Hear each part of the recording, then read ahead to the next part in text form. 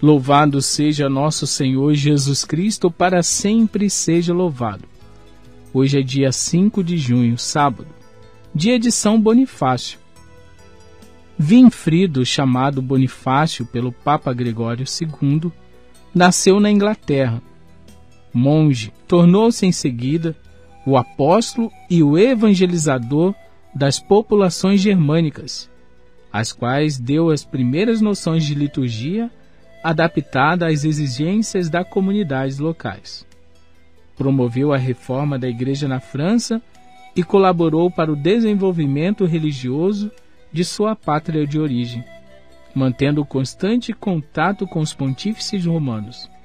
Ele foi martirizado na Holanda em 5 de junho de 754, enquanto evangelizava os frisões, povo da região da Frísia peçamos a intercessão de São Bonifácio sobre nós. No Evangelho de hoje, queremos partilhar o Evangelho de São Marcos, capítulo 12, 38 a 44. O Senhor esteja convosco. Ele está no meio de nós. Proclamação do Evangelho de Jesus Cristo segundo Marcos. Glória a vós, Senhor.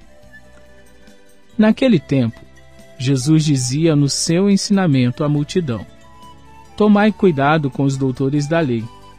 Eles gostam de andar com roupas vistosas, de ser cumprimentados nas praças públicas, gostam das primeiras cadeiras nas sinagogas e dos melhores lugares nos banquetes. Eles devoram as casas das viúvas, fingindo fazer longas orações. Por isso eles receberão a pior condenação.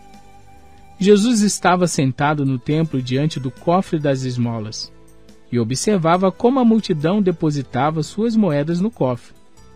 Muitos ricos depositavam grandes quantias.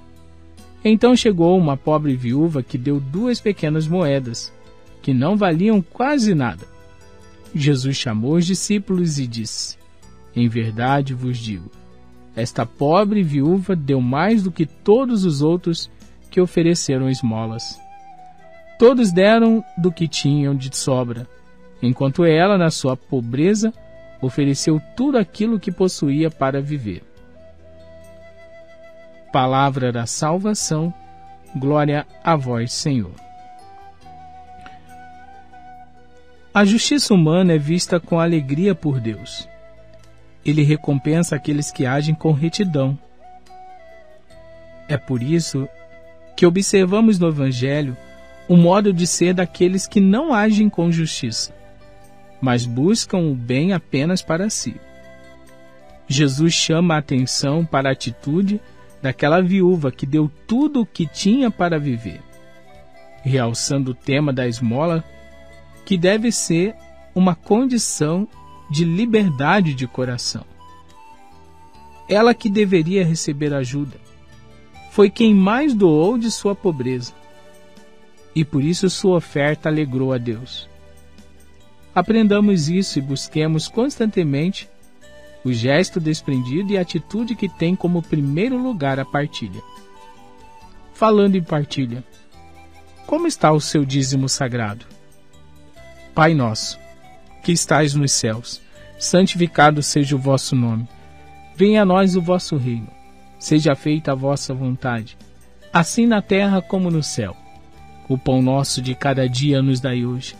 Perdoai-nos as nossas ofensas, assim como nós perdoamos a quem nos tem ofendido.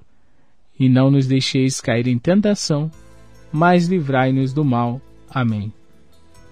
O Senhor esteja convosco, Ele está no meio de nós.